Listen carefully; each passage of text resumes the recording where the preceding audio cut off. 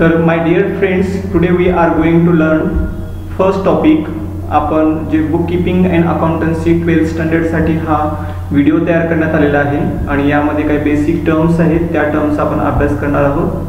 So write a word or term or phrase which can substitute each of the following statement खालील शब्दासंबंधी word म्हणजे शब्द term म्हणजे संज्ञा फ्रेज म्हणजे शब्दसमूह. Means we have to give one word term phrase for following this statement so first one is a statement showing financial position of the business on a particular date my dear students आपल्या सर्वांना माहीतच असेल की balance sheet most of the टॉपिक्समध्ये असणार आहे. म्हणजे तुम्हाला माहीतच असेल ट्रेडिंग अकाउंट uh, जे फायनल अकाउंटमध्ये असेल तो ट्रेडिंग कन्सर्नचं फायनल अकाउंट असेल किंवा नॉन ट्रेडिंग कन्सर्नचं फायनल अकाउंट असेल त्याचप्रमाणे ॲडमिशन रिटायरमेंट डेथमध्ये तुम्हाला बॅलन्स शीट दिली जाते. So we know that what is the meaning of balance sheet balance sheet means we show financial condition of particular day त्या त्यासंबंधी आपण आन्सर बघू. The amount which is not recoverable from debtors म्हणजे अशी amount जी डेटर्सकडून recover होऊ शकत नाही. Stock in hand at the end of the accounting year म्हणजे वर्षाच्या शेवटी जे आपल्याकडे स्टॉक शिल्लक असतो तो स्टॉक त्याला आपण काय म्हणतो? The transport expenses incur to carry the goods purchase by the firm असा खर्च जो ट्रान्सपोर्टचा आहे आणि गुड्स कॅरी करण्यासंबंधी. Means when we purchase goods on goods that time we have to prod that goods in our firm आपल्या फर्ममध्ये ते गुड्स आणणं आवश्यक आहे. मग त्याला आपण काय म्हणतो? Income which is received before its due date म्हणजे अशा प्रकारचे इन्कम जे ड्यू डेटच्या अगोदर मिळालेलं आहे तर so now we will now learn about answer statement showing balance sheet म्हणजे statement which show financial condition of the business on a particular date म्हणजे विशिष्ट दिवशी आपल्या बिझनेसची जी काही फायनान्शियल कंडिशन आहे ते दर्शनाचं काम कोण करीत असतं? Balance sheet so this is the meaning of balance sheet तर bad debts means such debts which is not going to recover म्हणजे अशा प्रकारचं कर्ज जे आपण फ्युचरमध्ये वसूल करणार नाही that is completely loss so that is known as bad debts so closing stock means such type of stock which is remain in our business which is known as unsold stock अशा प्रकारचा stock जो बिझनेसमध्ये शिल्लक राहिलेला आहे त्याला आपण closing stock असं म्हणतो आपण. नंतर अशा प्रकारचा खर्च जो आपण ट्रेडिंग अकाउंटच्या डेबिटला दाखवतो तो ट्रान्सपोर्ट एक्सपेन्सेस आहे. Actually when we purchase goods that time we have to brought that goods in our firm. That is called carriage inward. And carriage outward means such type of expenses which is incurred when we are going to sold goods. When we are when we send our goods to the market means we have to sold that goods uh, in market. So we have to pay transport expenses that is called carriage outward. Carriage inward आपण trading अकाउंटच्या डेबिटला दाखवतो and carriage outward आपण profit and loss अकाउंटच्या डेबिटला दाखवतो. So such income which is received before its due date means pre received income अशा प्रकारचे इन्कम असेल तर ते आपण ऍडजस्टमेंट असेल तर एकच परिणाम दोन परिणाम करतो. एक इन्कम प्रॉफिट अँड लॉस अकाउंटच्या क्रेडिटमधून मायनस करतो आणि बॅलन्स शीटच्या लायबिलिटी साईडला दाखवतो. If that balance is given in balance sheet credit side sorry trial balance credit side तेव्हा आपण त्याचा एकच परिणाम करतो ते म्हणजे लायबिलिटी साईडला so here again the debit balance of trading account म्हणजे ट्रेडिंग अकाउंटचं जर डेबिट बॅलन्स असेल तर काय म्हणतो आपण त्याला? Credit balance of trading account trading अकाउंटची credit side जास्त असेल तर आपण त्याला काय म्हणतो? Provision which is created on sundry debtors debtors वरती डेटर्सवरती आपण प्रोव्हिजन क्रिएट करतो त्यास आपण काय म्हणतो?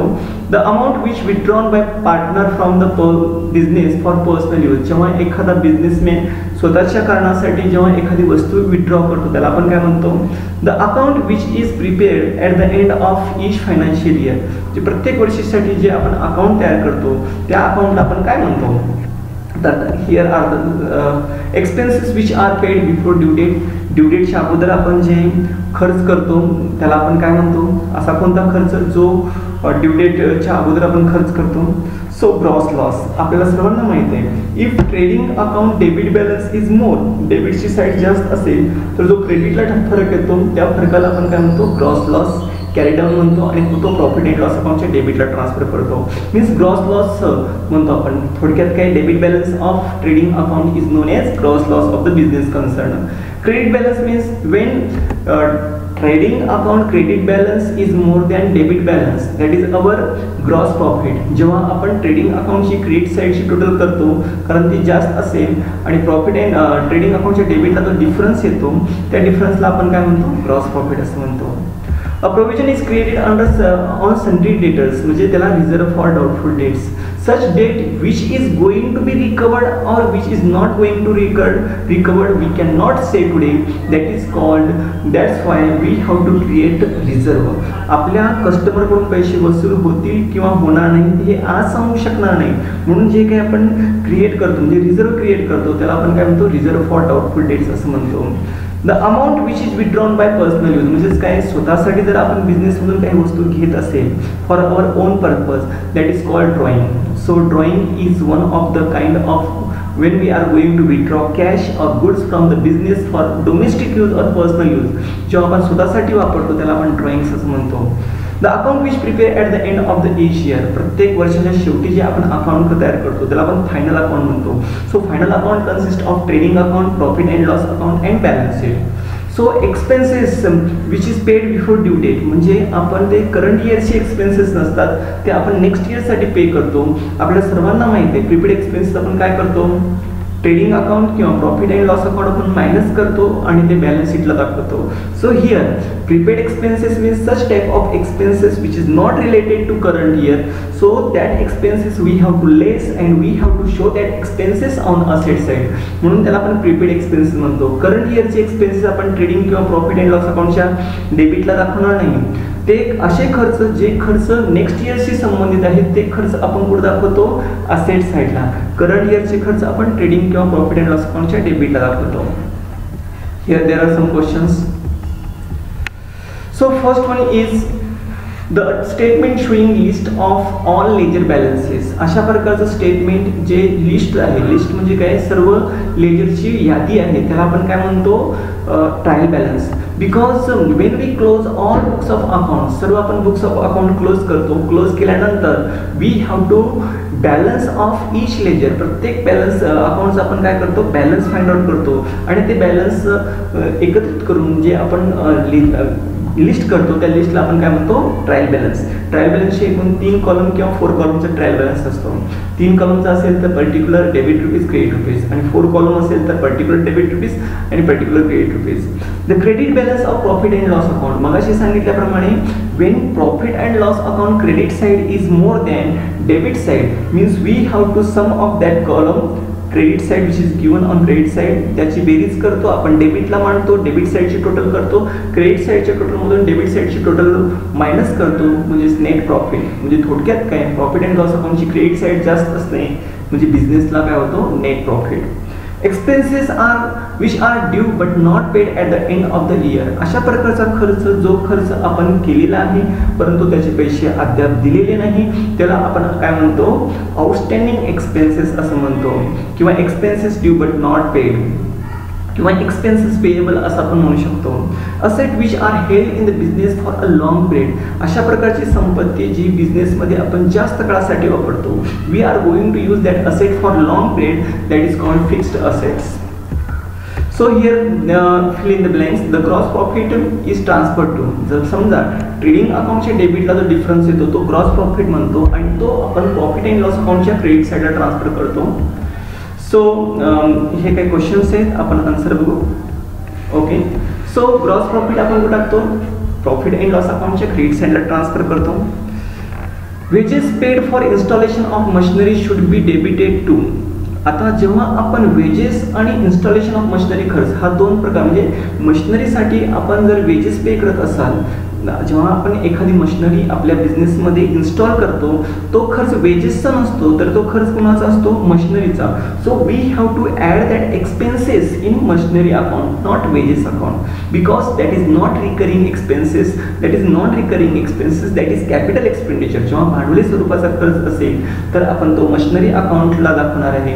वेजेस म्हणजे डे टू डे वर्कसाठी किंवा वीकली और डेली बेसिसवर ज्याला आपण हायर करतो आणि आपल्या ऑफिसमध्ये किंवा आपण काय फॅक्टरीमध्ये काम करून घेतो त्यांना वेजेस किंवा सॅलरी देत असतो. So this is expenses which is we have to debited to machinery account not wages account statement showing financial position of the business आताच आपण बघितलेलं आहे की अशा प्रकारचं स्टेटमेंट जी बिझनेसची फायनान्शियल कंडिशन शो करीत असतं त्याला आपण काय म्हणतो? बॅलन्स शीट असं म्हणतो.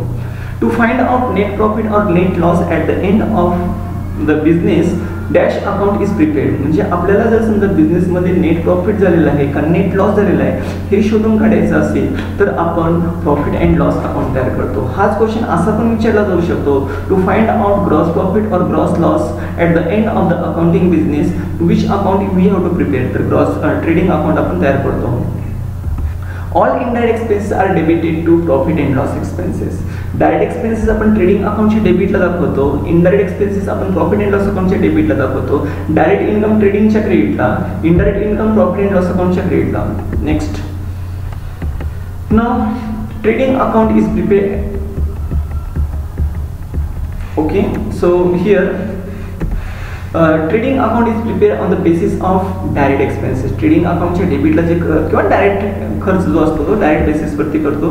म्हणून आपण त्याला काय म्हणतो? ट्रेडिंग अकाउंट म्हणतो. The interest on drawing is transfer to dash side of the profit and loss account ऐका. Interest on drawing that is income of the firm and that is expenses of partner म्हणून आपण काय करतो? Partners capital अकाउंटच्या डेबिटला दाखवतो एक परिणाम आणि दुसरा परिणाम प्रॉफिट अँड लॉस अकाउंटच्या क्रेडिट साईडला because individual expenses and business expenses these two things are income individual income and business income that is also very important हा बिझनेसचा इन्कम आहे म्हणून बिझनेसचं अकाउंट कुठलं असतं प्रॉफिट अँड लॉस अकाउंट म्हणून profit and loss अकाउंटच्या credit साईडला घेणार आहोत आपण क्रेडिट साईडला final account are prepaid on the basis of dash and adjustment trial final अकाउंटमध्ये आपल्याला दोन गोष्टी विचारलेल्या असतात दिलेल्या असतात. त्या म्हणजे एक असतो ट्रायल बॅलन्स आणि दुसरा असतो तुमचं adjustment so with the help of trial balance and adjustment we can prepare final account answer is trial balance return outward purchase return are deducted from बघा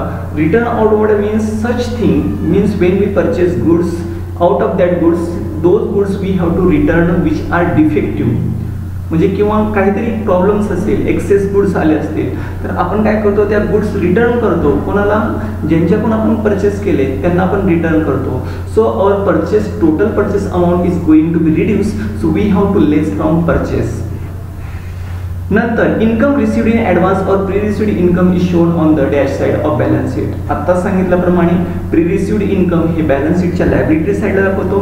प्री पेड एक्सपेन्स आपण asset साईडला दाखवतो. So correct answer is liability side prepaid expenses expenses paid in advance are shown on the asset side जेव्हा trial बॅलन्समध्ये एकच balance दिलेला असतो समजा प्रीपेड इन्शुरन्स असेल प्रीपेड रेंट असेल प्रीपेड सॅलरी असेल प्रीपेड कोणताही खर्च असेल तर तो आपण बॅलन्स शीटच्या असेट साईडला घेत असतो.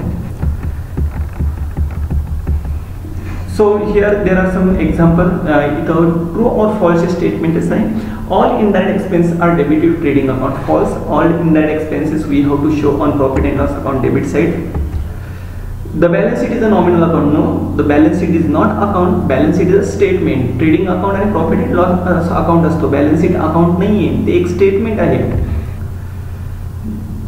नंतर discount allowed is debtor is called as bad debts false आहे डिस्काउंट आपण जे करतो त्याला बॅड डेट्स असं म्हणत नाही. डिस्काउंट आपण कधी देतो?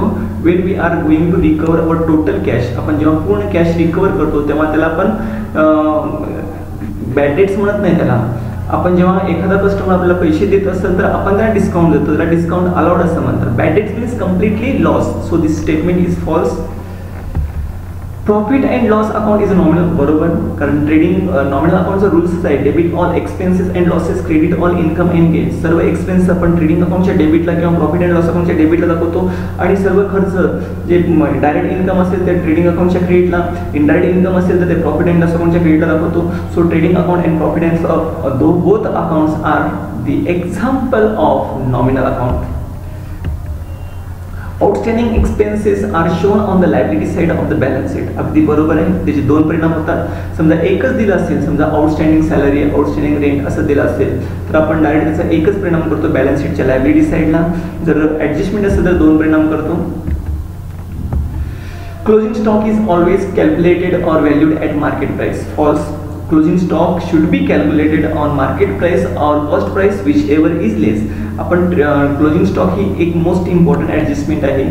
तिचा परिणाम करीत असताना जी स्टॉक म्हणजे मार्केट प्राईस असेल किंवा कॉस्ट प्राईस जी किंमत कमी असेल ती आपण विचारात घेतो. त्याचा आन्सर पार्टनर्स मस्ट शेअर या ठिकाणी काय राईट वर्ड टर्म्स आहेत? हां हे फॉल्स आहेत. आपण एक एक बघू. तर क्लोजिंग स्टॉक हा कॉस्ट प्राईस आणि मार्केट प्राईस जी कमी आहे त्यावरती कॅल्क्युलेट करतो. Partner must share profit and loss equally false if there is a special provision in partnership deed भागीदारी करारामध्ये जर उल्लेख केला असेल तर आपण त्या रेशोप्रमाणे देतो. If there is no provision if partnership deed is silent that time only we have to share profit or loss among the partner as a equally हे स्टेटमेंट सुद्धा फॉल्स आहे trial balance is the base of final बरोबर? Trial balance हा base आहे final अकाउंटचा debit balance of trading account show gross profit false आहे. Gross loss असतो तो. Debit balance of trading account show gross profit. हा actually false आहे चुकून true झालेला आहे. Credit balance of profit and loss account show net profit अगदी बरोबर आहे. Return inward डिडेड from purchase false return inward आपण सेल्समधून वजा करतो त्यालाच आपण सेल्स रिटर्न असं म्हणतो. Thanking you for watching and for valuable